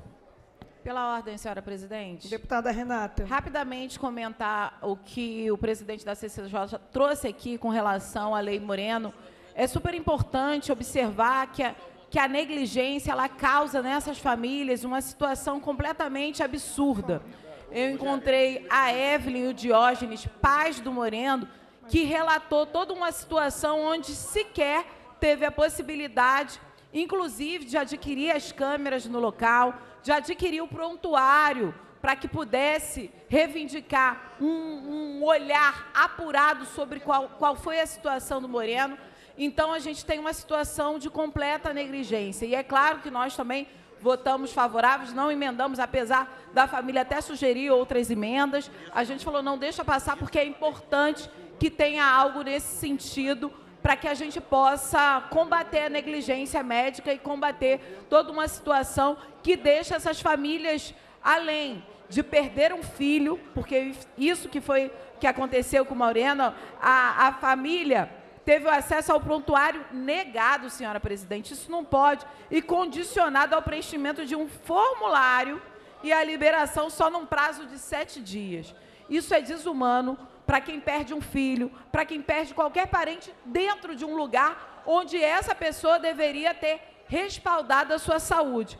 Então, deixa aqui informado que a família segue sendo acompanhada pela Comissão de Defesa dos Direitos da Mulher, em especial porque a mãe é, do Moreno teve um, uma, uma, um protagonismo muito forte, assim como, seu pai, mas que hoje também acabam de integrar aos movimentos de vítima do Estado, porque não deixa de ser vítima do Estado quem tem a sua família vilipendiada ou colocada numa situação de vulnerabilidade, como foi a criança Moreno, dentro de uma unidade hospitalar. Então fica aqui a nossa solidariedade à Evelyn e ao Diógenes e a gente segue aqui na luta parabenizando ao deputado por, pela, por essa importante propositura dentro da Assembleia Legislativa.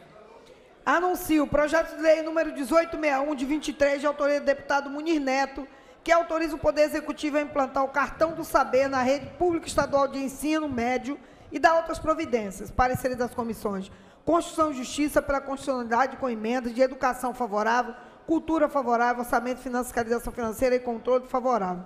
Relatores, deputado Verônica Lima, Flávio Serafim, Verônica Lima e Cláudio Caiado. Em discussão, não havendo quem queira discutir... É uma questão de ordem, presidente. É sobre... Eu, é sobre as emendas, que é de minha autoria para poder fazer a retirada.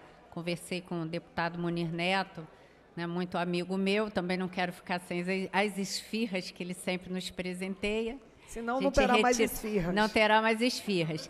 E também uma segunda questão de ordem é para solicitar no rol das, das comissões também a Comissão de Economia, Indústria e Comércio como parecerista. Faremos isso. Em votação, senhores que aprovam, mas como estão, aprovado as emendas da CCJ. Em votação, o projeto assim emendado. Senhores que aprovam, permaneçam como estão. Aprovado, retorna a redação do vencido para a segunda discussão. Anuncio. Projeto de lei número 1493 de 23, de autoria deputada Érica Takimoto, que cria o programa de apoio à saúde mental para mães atípicas no estabelecimento público de saúde do Estado do Rio de Janeiro. Parecer das comissões de Constituição e Justiça, pela constitucionalidade com emendas, saúde favorável com as emendas da Comissão de Constituição e Justiça, Defesa do Direito da Mulher, favorável, de Orçamento, Fiscalização Financeira e Controle, favorável, com as emendas da Comissão de Constituição e Justiça. Relatores, deputado Rodrigo Amorim, Tande Vieira, Renata Souza e Anderson Moraes. Pendente de parecer das Comissões de Constituição e Justiça, Saúde, Defesa do Direito da Mulher, de Orçamento, Finanças, Fiscalização Financeira e Controle das Emendas de plenário. Para emitir parecer pela Comissão de Constituição e Justiça, deputado Rodrigo Amorim.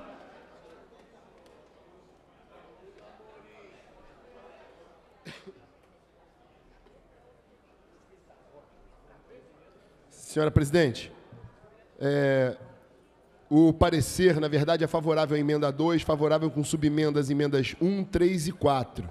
No entanto, há um requerimento formal de anexação ao primeiro projeto da pauta de hoje.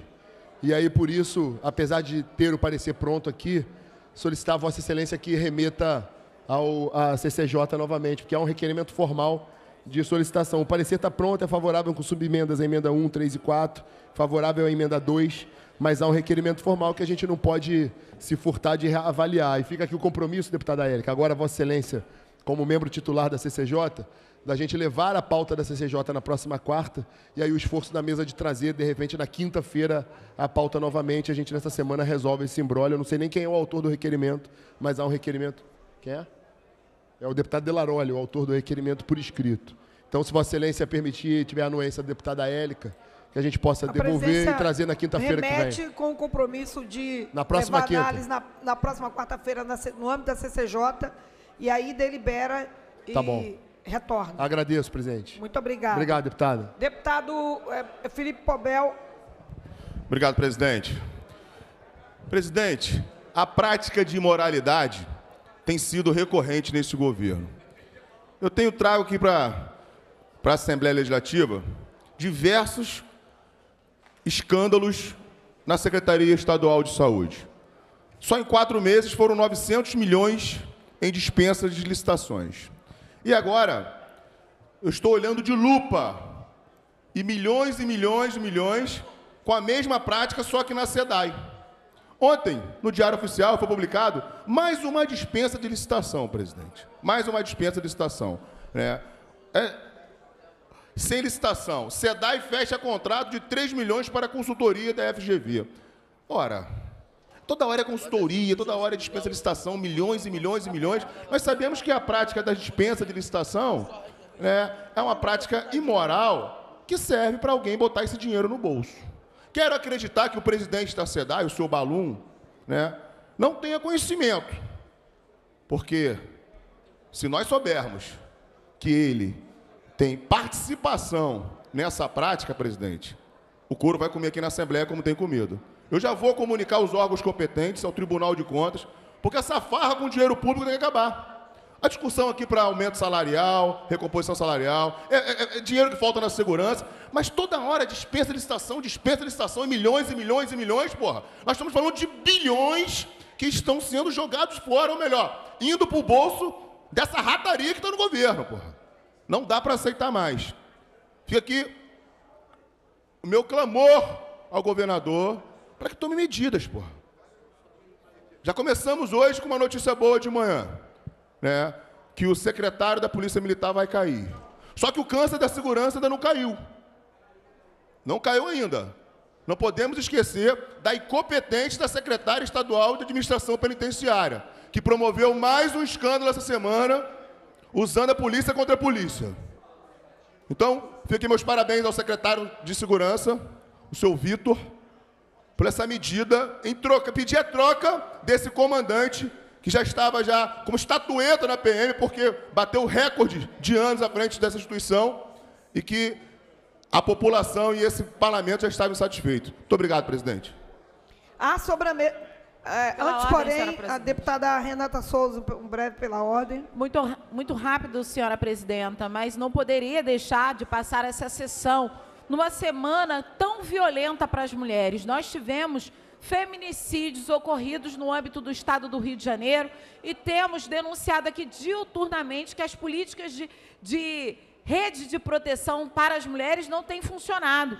É importante dizer que o caso da Michele chama muita atenção. Michele Pinto, de 39 anos, teve o corpo incendiado, inclusive com pessoas filmando o seu corpo sendo incendiado numa estação de trem eh, de Augusto Vasconcelos. Ela foi levada para o hospital com queimadura de 90% do seu corpo e veio a falecer dois dias depois. E ela e o principal né, suspeito é o ex-marido e ele, Edmilson Félix, do nascimento de 44 anos, que é possível que ele tenha se jogado da ponte Rio e Niterói depois de cometer esse ato. Ou seja, senhora presidenta, é evidente que o que estamos vivendo é uma lógica tanto machista, mach, machista, misógina, que coloca essas mulheres como se fossem propriedades desses homens e que destroem famílias. A gente precisa lembrar que ela deixa uma filha pequena e a família, é, obviamente, não sabe por qual caminho seguir nesse momento desse, de mais um feminicídio. Então, eu quero aqui deixar expressa a minha solidariedade para a família da Michelle e lembrar que dentro dessa casa aqui tramitam projetos de lei, inclusive foi feita uma CPI sobre o feminicídio, deputada Marta Rocha presidiu essa CPI, eu pude ser membro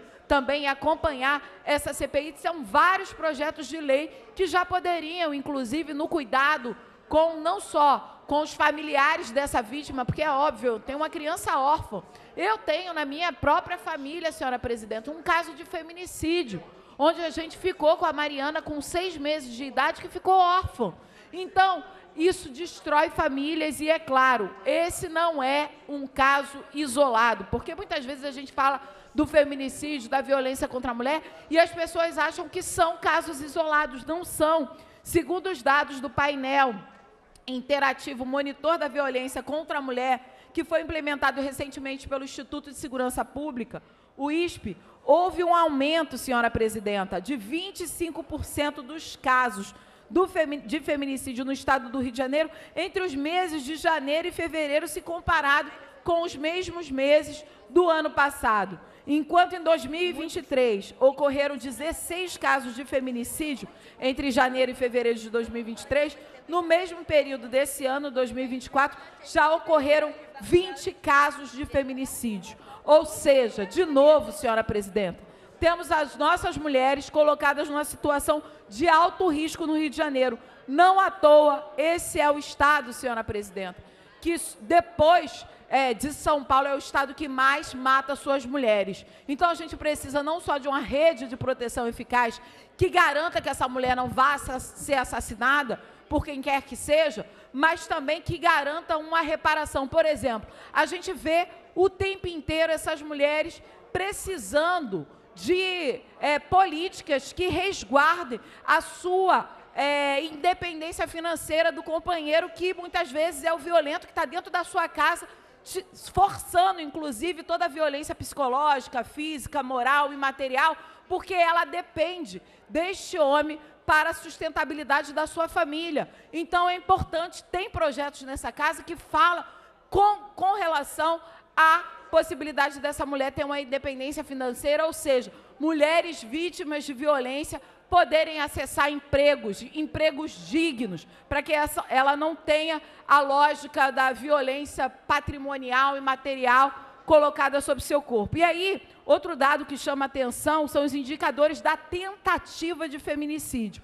Enquanto entre janeiro e fevereiro de 2023 ocorreram 53 casos de tentativa de feminicídio no Estado, só esse ano, senhora presidente, cresceu em 53% o caso de números de tentativas de feminicídio, o que representa 82, por, 82 casos entre janeiro e fevereiro. Ou seja, a gente precisa atuar para reverter esse cenário, um cenário que demonstra o esvaziamento, ou a falta, ou a negligência, ou a omissão com políticas públicas que resguardem essa mulher, de proteção também com relação à violência de gênero, que ocorre dentro da casa dessas mulheres, mas também que pode ocorrer no espaço público. Mas lembrar que a, a maioria da violência contra a mulher acontece onde ela deveria estar mais segura que é dentro da sua própria casa. E relembrar também que é, 25% dos casos de feminicídio são com arma de fogo. Então não adianta dizer que é, políticas de tentativa de assegurar a vida dessas mulheres não passa por todo um processo de reconhecimento de trabalho e renda, de reconhecimento, inclusive, do seu trabalho não remunerado, porque muitas vezes essas mulheres ficam dentro de casa cuidando de toda a família ou cuidando de alguém acamado, e passa também pelo reconhecimento dessa sociedade, enquanto o machismo, a misoginia, a tentativa de submeter essas mulheres às vontades e desejos dos homens colocam essas mulheres sem dúvida nenhuma, numa situação de risco. Então, fica aqui a minha solidariedade a essas famílias enlutadas, mas também fica um aviso e uma, uma solicitação, senhora presidenta, que a gente possa garantir que as leis que tramitam dentro dessa casa venham à pauta para que a gente garanta que essas mulheres não sejam vítimas dos seus próprios maridos dentro das suas próprias casas. Então, muito obrigada, senhora presidenta. Desculpe por me estender, mas era um caso que a gente não pode deixar de falar no expediente ordinário dessa casa. Obrigada. É lamentável que o nosso Estado, mais uma vez, entra no ranking, deputados e deputadas, deputado Rodrigo Amorim, do Estado que mais mata mulheres. É vergonhoso, lamentável. E o pior, essa vítima, é, que teve o seu corpo queimado, já tinha medida protetiva, ou seja, é, fica bem claro que a medida protetiva por si só não está garantindo a proteção da vida dessas mulheres. Os algozes acabam cometendo um crime, é, matando, tirando a vida dessas mulheres. E fica aqui o convite já para todas as deputadas e todos que nos assistem na TV Alerj, nós teremos o um encontro é, da Procuradoria da Mulher itinerante, é, dessa feita no estado do Rio de Janeiro, é, não aberto só para as deputadas, vereadoras, procuradoras, é para as mulheres que militam, que lutam pelos direitos das mulheres. Então, a sociedade civil organizada, todos os movimentos estão convidados a estar presente, porque a união de força das procuradorias de todo o Brasil, inclusive com presença de é, autoridades do Poder Judiciário, para que a gente possa, ombreadas, é, buscar mecanismos mais eficazes que garanta, de fato, a proteção dessas mulheres, porque os que já estão postos Inclusive, essa casa tem feito um exercício enorme de aprovar leis, tanto das deputadas como dos deputados. Inclusive, mês passado, aprovando várias, já tem outras aprovadas, e que falta regulamentação, e a gente pede um clamor aqui, já ao governador, das que falta regulamentação, que regulamente, porque a gente precisa, de fato, garantir que o nosso Estado, o Brasil inteiro, mas que o nosso Estado saia dessa margem de ranking negativo que é o de feminicídio. As, as mulheres estão morrendo e a gente precisa garantir essa proteção. Então, segunda-feira, é, às 13 horas, segunda, dia 15, às 13 horas, o encontro das procuradorias das mulheres, é, da mulher da, da Câmara, de todas as procuradorias, e, eu digo, o encontro de todas as mulheres. E está o convite aberto para todos os homens que também que lutam aguerridamente no combate de todo tipo de violência contra as mulheres, para que a gente possa, aí a nossa comissão vai estar toda presente, a deputada Renata, que é presidente da nossa comissão, mostrando que a gente está unido, inclusive com o governo federal, com a Câmara Federal, para que a gente consiga é, erradicar essa praga chamada feminicídio, mandar para bem longe é, do nosso Brasil e do nosso Estado Rio de Janeiro. Deputado Rodrigo Amorim e logo em seguida deputado Flávio Serafim. Senhora presidente, já que o tema é a força e o poder da mulher, já falei inúmeras vezes o quanto Vossa Excelência fica bem sentada nessa cadeira, presidindo a nossa sessão, os nossos trabalhos. Mas eu não poderia deixar de passar e encerrar essa sessão, não sem antes mencionar a presença de uma mulher poderosíssima, que é a doutora Luciana Pires, advogada, criminalista, jurista, advogada de muitos deputados aqui nessa casa, advogada do nosso senador Flávio Bolsonaro, e que é sendo, vem sendo reconhecida como uma grande força é, da jovem mulher jurista no Brasil.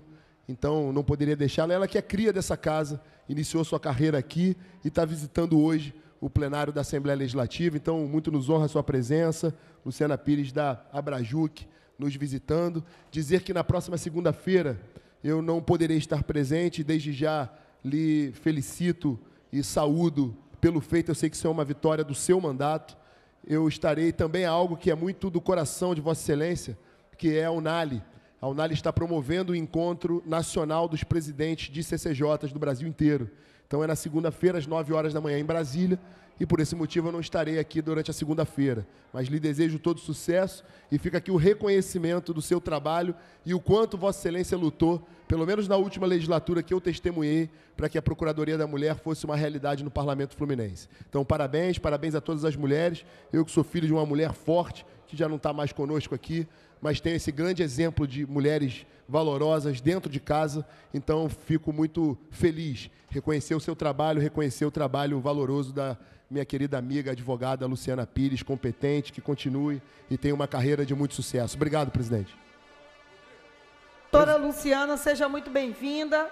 Parabéns, a gente precisa disso. Está o convite aí, se quiser estar conosco na segunda-feira, às 13 horas, o encontro de procuradores, inclusive o, o nosso presidente Rodrigo Bacelar, quem encabeça, quem, quem acolheu esse encontro das procuradoras aqui no Rio, juntando aí, unindo força de todas as procuradorias, e aproveitar e pedir que eh, a gente faça, eu estou representando, vou estar representando a Procuradoria do Rio, de forma, como forma de militante de luta da busca da instalação, já foi votada a nossa Procuradoria, só precisa agora é deputado Rodrigo Amorim, fazer a votação da escolha da procuradora, abrir o edital para os nomes e a gente ter também mais um mecanismo de eficiência. Já posso votar? Não, só quando abrir o edital e, e, os nomes forem impostos. Que será mais um mecanismo da nossa uh, Assembleia Legislativa, que já há em, todo, em quase todas as Assembleias Legislativas do Brasil, quase na sua totalidade, é mais um mecanismo para trabalhar ombreado junto com a Comissão de Mulheres no combate a esse câncer maldito que é a violência e, e a invisibilização das mulheres, da capacidade que as mulheres têm. Então, aqui parabenizar a advogada e, e firmar o convite.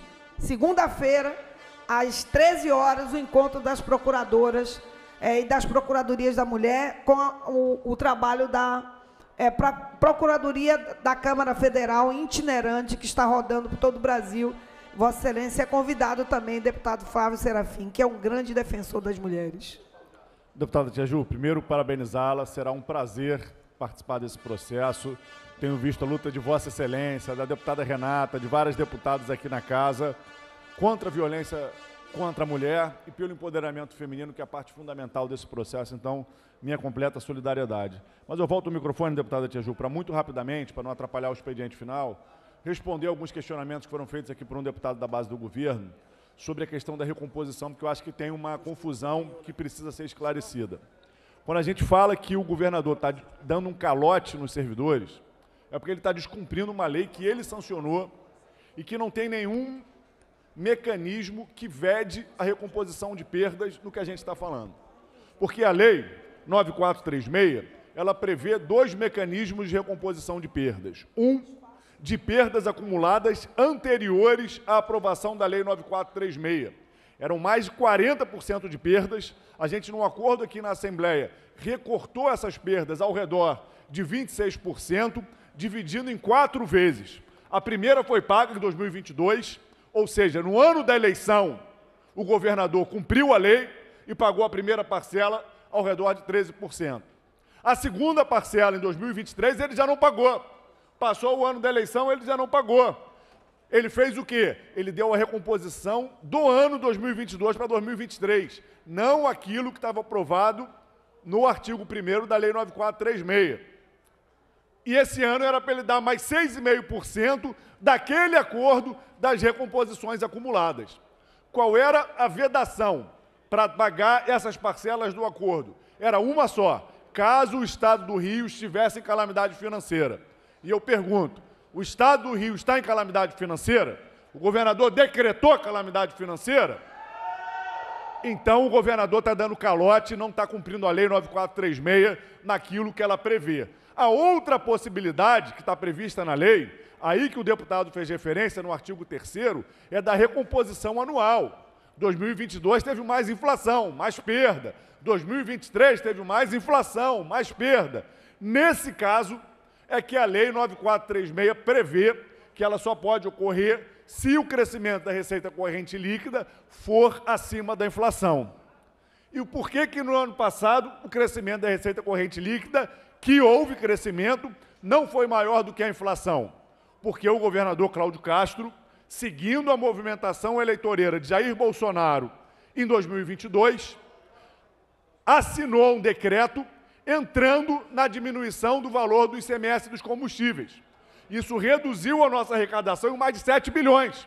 Então, responsáveis pela queda de arrecadação no estado do Rio de Janeiro tem dois: Jair Bolsonaro e Cláudio Castro. E aí o governador quer usar uma decisão dele próprio e do presidente Jair Bolsonaro, né, presidente na época, para prejudicar os servidores do Estado do Rio de Janeiro. Então, era necessária uma resposta técnica, a resposta técnica está aqui. Ano passado, a receita corrente líquida cresceu, sim, só não cresceu mais do que a inflação, porque o governador reduziu o ICMS dos combustíveis e isso não tem nada a ver com o que foi aprovado na Lei 9346, que eram as perdas acumuladas de mais de 40%, que se, se recortou 26%. O governador, esse sim, que só pagou a parcela do ano eleitoral. Nos outros anos, ele está dando calote nos servidores. A sobremesa requerimento de inclusão da ordem do dia do projeto número 1432 de 23 do deputado Guilherme Delaore. Senhores que aprovam permaneçam como estão aprovados. A sobremesa requerimento de inclusão da ordem do dia do projeto 622 de 24 do, da deputada Tia Ju. Senhores que aprovam permaneçam como estão aprovados. A Sobre a mesa, requerimento de inclusão na ordem do dia do projeto 638 24 da deputada Tia Ju. Os senhores que aprovam, mas como estão, aprovado. Há sobre a mesa inclusão, requerimento de inclusão na ordem do dia do projeto 545 de 23 da deputada Tia Ju. Os senhores que aprovam, mas como estão, aprovado. Há sobre a mesa requerimento de inclusão na ordem do dia do projeto 2775 de 23 da, do deputado Júlio Rocha. Os senhores que aprovam, permaneçam como estão, aprovado. A sobremesa, requerimento de inclusão na ordem do dia do projeto 7821 do deputado Júlio Rocha. Senhores que aprovam, permaneçam como estão, aprovado. A sobremesa, requerimento de inclusão na ordem do dia do projeto é, 575822, deputado Samuel Malafaia. Senhores que aprovam, permaneçam como estão, aprovado. A sobremesa, requerimento de inclusão na ordem do dia do projeto de lei 6283 de 22 do, do deputado Samuel Malafaia. Senhores que aprovam, permaneçam como estão, aprovado. A sobremesa requerimento de inclusão na ordem do dia do projeto 735 de 23 da deputada Marina no MST. Os senhores que aprovam permaneçam como estão, aprovado. Nada mais a tratar na ordem do dia, passa ao expediente final com o primeiro orador inscrito, o nobre deputado professor Josimar. Vossa Excelência dispõe de 10 minutos no tempo regimental. Obrigado, presidenta Tia Ju. Nós estamos aqui, mais uma vez, hoje foi uma, um dos pontos de pauta foi o próprio debate sobre o FOSPERG e a sua necessidade de pagamento é a cobrança do pagamento da segunda e da terceira parcela. Foi um debate bastante importante e na qual nós aqui fazemos questão de reafirmar a nossa, o nosso compromisso, o nosso apoio da categoria em relação à pauta dos servidores. O FOSPERG fez um importante ofício esclarecendo e trazendo os fatos para todos os deputados e deputadas dessa casa que se interessam pelo assunto. Né? Esse ofício, inclusive, que está assinado dia 8 de março do ano passado, mostra todas as condições necessárias e todo um histórico relacionado ao não pagamento. E é importante que se diga o seguinte, como alguns colegas já colocaram, não existe aqui, não existe no Estado do Rio de Janeiro uma calamidade financeira que não dê para pagar. Porque se assim fosse, nós não estaríamos aqui votando, né, como foi feito por essa casa, votações na qual teve isenções fiscais, como teve votações de redução de taxas e também de impostos. Então, o que se trata, na verdade, é uma opção política, deputado Luiz Paulo. É uma opção política do governador de não fazer o pagamento. De não fazer o pagamento não a todos os servidores, mas aos servidores relacionados ao executivo, na qual é de sua responsabilidade. Quero também afirmar o nosso compromisso, dizer que a nossa, enquanto servidor público, concursado, mas também como parlamentar, estou ao lado dos, dos trabalhadores e estaremos construindo alternativa para que se tenha eh, as mobilizações. Aproveito também a oportunidade para falar da nossa luta em defesa dos animadores culturais. Os animadores culturais foram, foi um cargo, ainda no governo, construído no governo de Leonel Brizola, no primeiro governo de Leonel Brizola, onde em 1984 teve o primeiro, um primeiro programa relacionado aos centros integrados de escola pública, os CIEPs, que depois veio popularmente a ser chamado de Brizolão, aonde você criava ali uma estrutura diferenciada de escola, que você tinha as diretoras formais, como nós temos, mas tinha diretora também comunitária e tinha alguns cargos que eram relacionados de uma concepção de que a escola tinha que estar relacionada à sociedade. Falo isso porque, do nosso ponto de vista, a escola ela é um, uma das ferramentas do Estado em diversas comunidades, deputado Luiz Paulo. E a escola é quem faz essa integração. E o papel do animador cultural, que hoje parece que é muito, mas são apenas, nos últimos levantamentos que fizemos, era apenas 333 animadores culturais em todos os estados, eles são aqueles que faziam um trabalho relacionado a práticas artísticas, práticas de extensão e práticas culturais envolvendo a escola e a comunidade.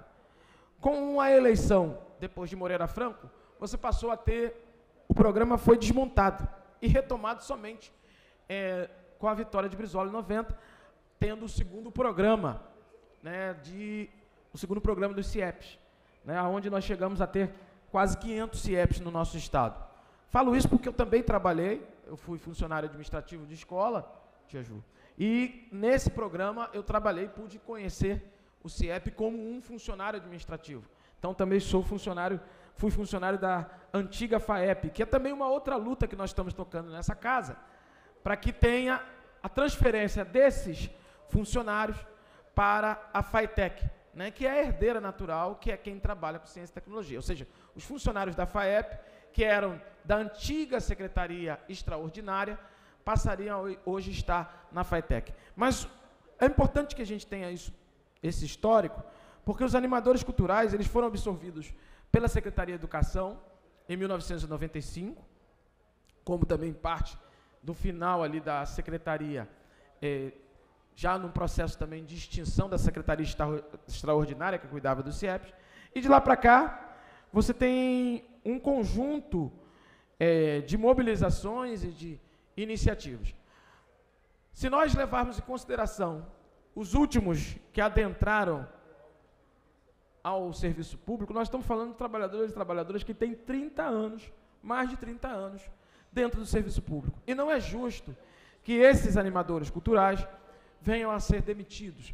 Não é justo que esses animadores culturais não tenham a garantia de finalização para a sua aposentadoria. Então, nós queremos, né, é, e alguns pontos são fundamentais na luta dos animadores culturais. primeira delas, o cumprimento da Lei 67, que regulamenta a função de animador cultural. Outro aspecto também que é fundamental é a regularização da situação, da situação previdenciária desses trabalhadores. Outro aspecto também, nós é, queremos que tenha a defasagem, né, a recomposição da defasagem salarial de 67% desses trabalhadores. Isso tudo alinhado a todos os problemas que todos os servidores públicos é, estaduais têm, como falta do pagamento da recomposição, falta do respeito a aumento de salário desses profissionais. Então, Quero dizer isso para colocar esta discussão em pauta e afirmar, reafirmar o nosso compromisso com a luta dos animadores culturais. Um outro tema também que nos traz para aqui para informar são duas iniciativas que estaremos, uma que nós já fizemos e outra que nós vamos estar junto com a CPI dos serviços delegados fazendo. A primeira delas é falar da frente parlamentar que fizemos na segunda-feira, né, de lançamento em defesa dos ACS e dos ACEs. ACS e ACEs são os agentes comunitários de saúde e agentes comunitários de endemia, são os ACEs. Fizemos essa frente com bastante representação, tinha mais ou menos 200 trabalhadores e trabalhadoras aqui na segunda-feira, onde pudemos tratar né, e desenvolver esta pauta. Estaremos fiscalizando as prefeituras que não cumprem o pagamento dos trabalhadores que não garante as condições dignas de trabalho. Quero dizer também que amanhã a CPI dos assuntos delegados, os diversos deputados presentes estarão fiscalizando, está aqui o deputado Luiz Paulo, está aqui outros deputados que participam também, vamos estar fiscalizando as condições é, da Imuna Laranjal né, na cidade de São Gonçalo e também todo o processo onde teve a contaminação da água. Obrigado, Tia Ju, pela oportunidade, obrigado aos pares que aqui acompanham estaremos seguindo o nosso trabalho e, desde já, governador pague a recomposição salarial. Esta é uma camisa do Fosperge, da qual nós temos muito orgulho de apoiar e de lutar junto. É, gostaria de convidar o deputado para assumir aqui a presidência, para o deputado Luiz Paulo fazer uso da. Conta de um compromisso, eu vou ter que me ausentar uma agenda. Próximo orador inscrito é o nobre deputado Luiz Paulo. Vossa Excelência dispõe de 10 minutos no tempo regimental.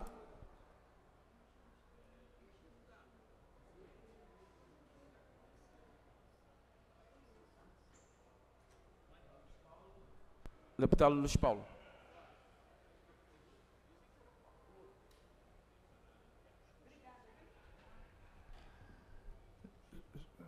Senhor presidente do expediente final, deputado professor Josemar, senhoras e senhores deputados que nos acompanham de forma remota ou pela TV Alerj, senhora intérprete da língua de Libras, que leva a nossa voz aos deficientes auditivos. Vou me reportar com as galerias totalmente vazias ao tema que tomou conta do plenário, que diz respeito à justa reivindicação do Fosperja para receberem as segundas e terceiras parcelas da reposição salarial constante em lei no período de setembro de 17 a 31 de dezembro de 21. E por que esse período? Período de vigência do primeiro regime de recuperação fiscal. Não é à toa. E por que esse projeto de lei foi apresentado, autorizativo aqui na casa? Por que, que foi negociado do parlamento com o governador? E por que foi sancionado? Porque o governo, naquele momento histórico, precisava renovar o regime ou entrar no novo regime de recuperação fiscal. E, para entrar nesse novo regime, havia uma série de exigências em lei complementar editada pelo governo federal. E isso aconteceu. Uma série de vantagens foram tiradas dos servidores. Por exemplo, os novos concursados não têm mais direito a triênio. Não é pouca coisa. Não é pouca coisa. Se você considerar que o primeiro triênio é 10 pontos percentuais, e depois a cada três anos mais cinco pontos percentuais. Volto a dizer, não é pouca coisa. Bom, então veio este acordo. Pagou-se a primeira parcela, que era 50% do total, que dava em torno de 26% acumulados. Então se pagou 13. E ficou faltando duas parcelas de 6,5. Nesse ínterim, o chefe do Poder Executivo mandou aqui para casa, para surpresa de todos, assim que ele foi reeleito, governador em primeiro turno, um projeto de lei, quase todo mundo esqueceu, para fazer a reposição salarial do ano de 22. É claro que nós aprovamos, mas eu subi aqui e fiz questão de dizer: olha, este ano, se você cotejar, como está no texto da lei, a receita tributária de 23 com a de 22, ela cresceu a mais do que a inflação. Mas deveria primeiro pagar as parcelas que são devidas. Então se criou um pagamento novo e não se pagou as devidas. Quando virou 23, em período de campanha, O que se dizia é que o caixa era uma maravilha. Acabou a eleição, o caixa ficou ruim. O que é que fizeram os chefes dos outros poderes? Colocou a lei, eu tenho previsão no meu orçamento, eu pago. E pagaram a segunda parcela. E o Poder Executivo não pagou. Este ano, em fevereiro, os outros poderes pagaram a terceira parcela. O Poder Executivo não pagou. Esta é a verdade dos fatos. É claro que a gente sempre busca caminhos para melhorar o caixa do Estado. Até porque, sem caixa, não tem políticas públicas.